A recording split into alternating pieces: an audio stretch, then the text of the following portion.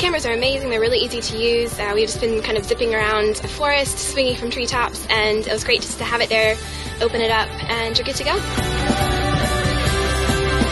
It's shockproof, waterproof, dustproof. You can literally take them everywhere on holiday, in the pool, on the beach. Whether you're kind of scuba diving or trekking on camels to the desert, it's great to have something you can really rely on. For a family, this type of camcorder has to be the future. They're ready when you're ready, and that makes a big difference.